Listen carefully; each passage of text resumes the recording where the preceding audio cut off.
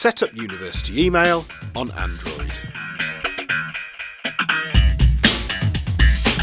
To begin with, you will need to make sure your device is connected to the internet.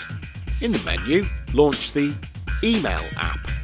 A new screen will pop up requesting your email and password.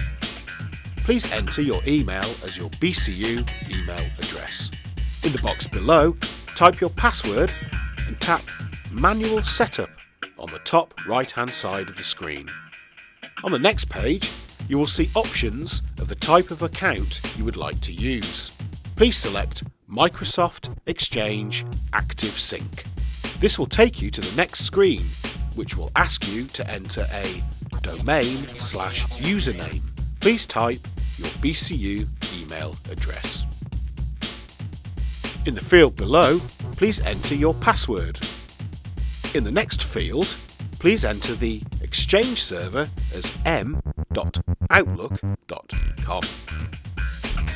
Now, you will need to tap Next. A Samsung device, a window will pop up asking for activation. Please tap OK. In the next window that appears, please tap OK to allow remote security.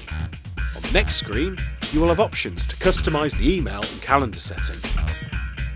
Select and change any options as required, then tap Next. You will now be prompted to activate Device Administrator. Please tap Activate. You will now be asked to type an optional descriptive account name, for example, University Email, and then tap Done.